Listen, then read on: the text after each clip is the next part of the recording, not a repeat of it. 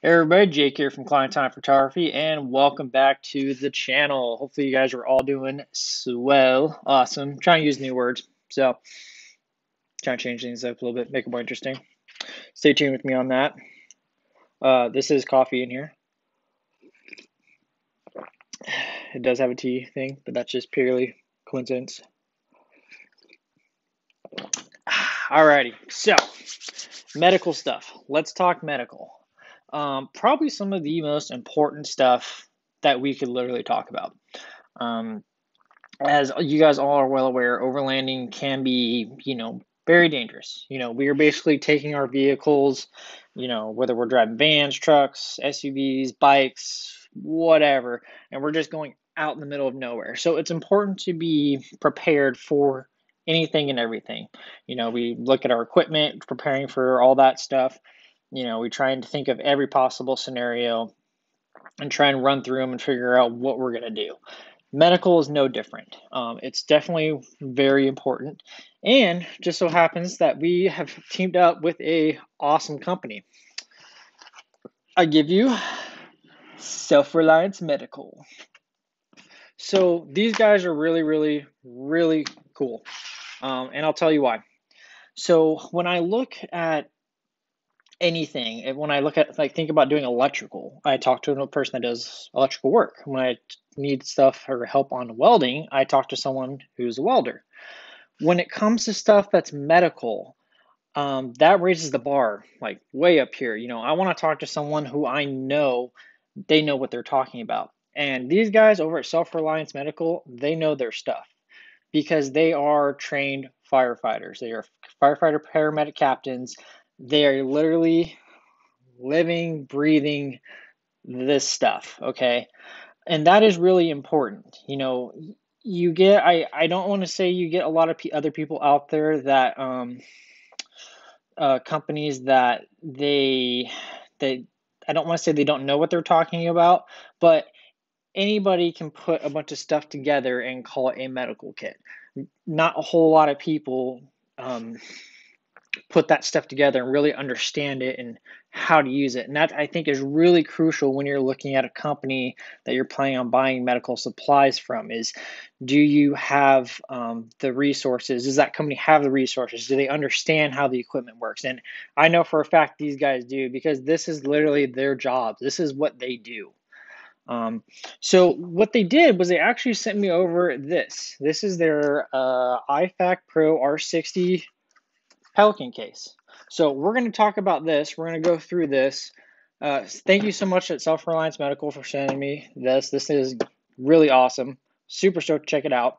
And then we're going to talk about some of the other stuff that I've been carrying as just an overliner. And we're going to kind of compare the two and talk about some medical stuff. So, with that being said, let's get to it.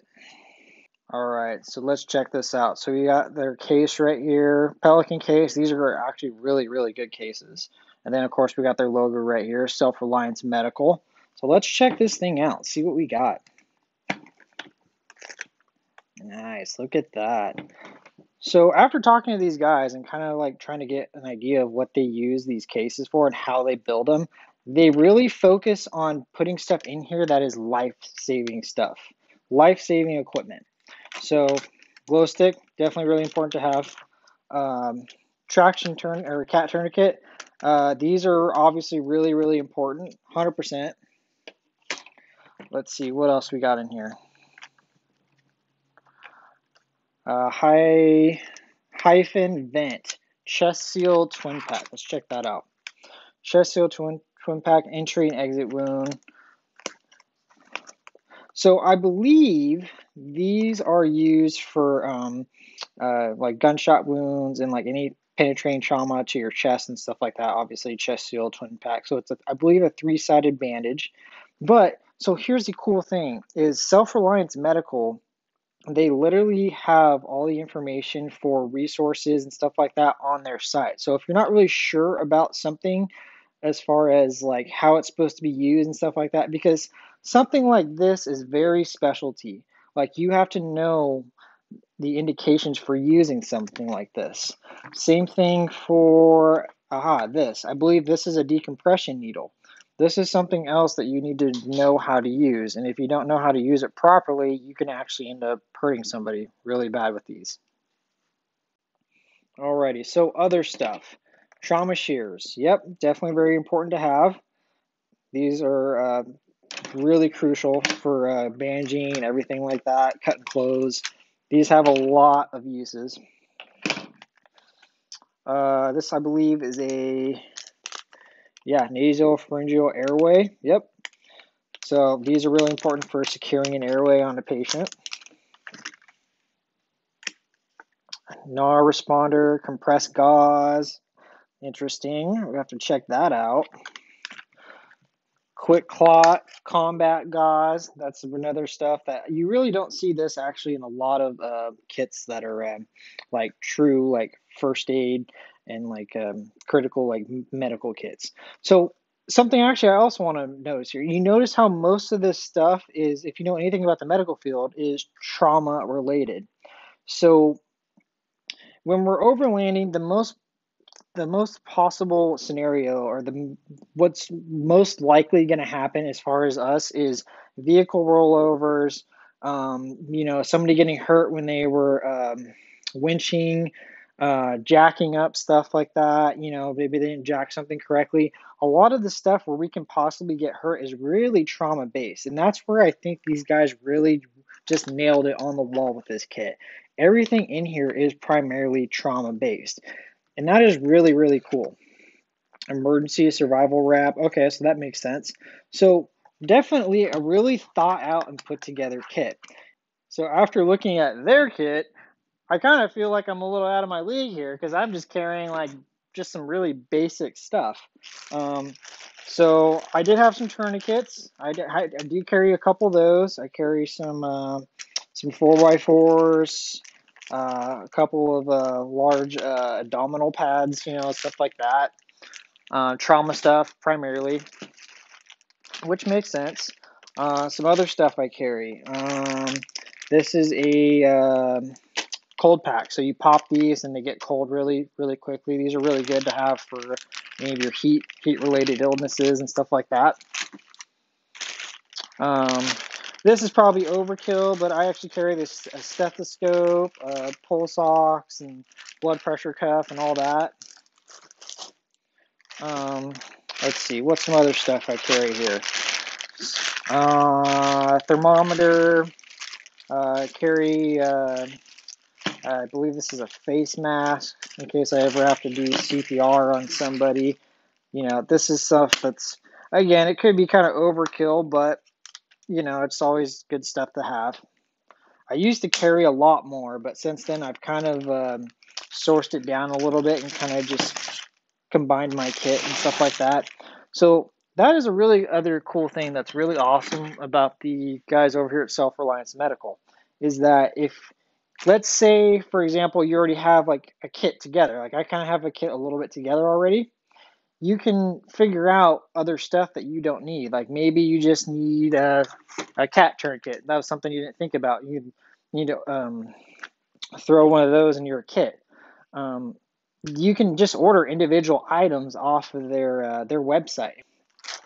Uh, some gloves and then some tapes and stuff like that. Some moleskin, that's really good for blisters. Uh, neosporin, triangular bands, all that good stuff. Trash bags uh, for cleaning up your mess afterwards. If you got any bloody bandages all over the place. Uh, if you're really, really allergic to poison ivy, poison oak, or any of that type of stuff, this is some good stuff to carry. I'm not, but I always carry this stuff. Some uh, something we're all probably very familiar with now, some type of uh, sanitizer. And then some isopropanol alcohol. So up until recently, I carried very basic stuff. You know, with the stuff from uh, Self Reliance Medical, we're going to take our kit and we're really going to just advance it quite a bit. And it's super nice to be able to have this extra stuff. Now that we have talked about Self Reliance medical kit and we've compared it to my medical kit, let's do like what we were saying we are going to do. Let's put it all together, right? So we have a couple different options cases, storage, right? So we have our hard case option.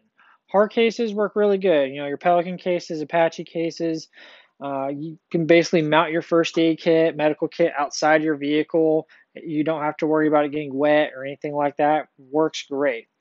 The only problem I've noticed with uh, the medical kits, and this was a scenario I was running through the other day, was potentially if you have to carry your kit for a long period of time. Let's let's say you're having difficulty getting access to the person you need to help, so you might have to carry that for a while. So that's where I kind of switched over to a more of a backpack style kit. These are uh, tactical backpacks. You can get them at Rancho Army Navy store. And I'm just going to give you a quick little run through of what this is, kind of how this is set up. So right up top here, we have our uh, our uh, cat tourniquet. We have our trauma shears, quick access. We really want to be able to get to our tourniquets. Those are some life-saving um, items, and we want to be able to put them on quickly. We have our uh, all of our good little first aid medical stuff. So Zyrtec, ibuprofen, all that stuff you might use, moleskin padding, all that stuff you might use pretty commonly, right? Right here up top, easy to get to. We have all of our gloves right here, and just in case we need to get more gloves, we want those right, easily accessible and up top, and with our along with our uh, sanitizer. Second stage is all of our patient um, evaluation stuff. So BP cuff, stethoscope, uh, pocket mask, thermometer, all that good stuff is right in here. Now let's say we're going to go to the next step. We really need to help this person out. We really need to do a lot of work. So we're just going to open this up just like it is just right now. So we have access to everything here. We have our cold packs, another tourniquet, another tourniquet, all of our um, bandaging, surgical pads, um, dressings.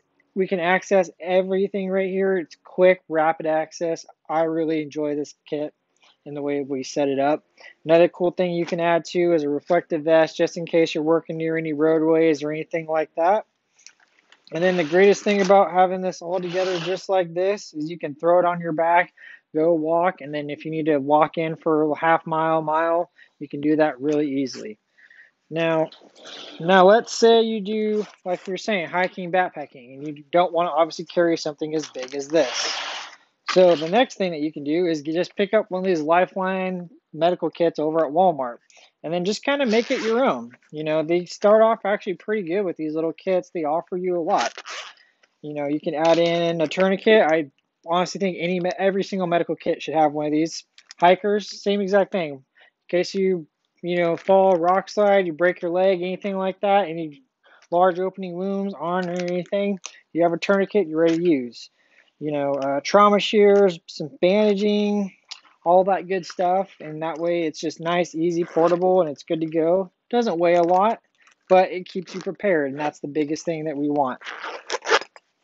And then another cool little addition hikers, you all know one of the biggest things that you come across is probably heat illness injuries. So keep a couple cold packs. It's always good to have.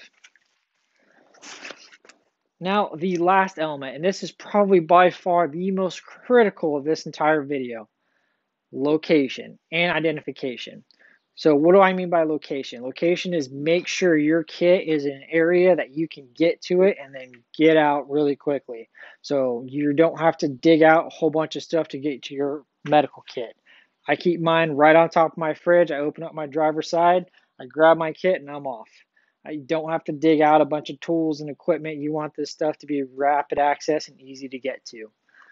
Uh, another thing that some people are doing that's kind of a newer trend is they put medical stickers on the outside of their vehicle so that way people know, hey, look at the medical sticker, that's where my kit is.